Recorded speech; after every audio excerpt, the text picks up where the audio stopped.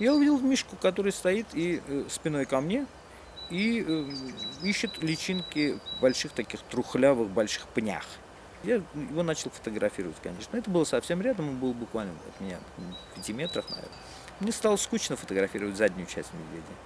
Я его позвал, и он встал вот так. Вот так встал.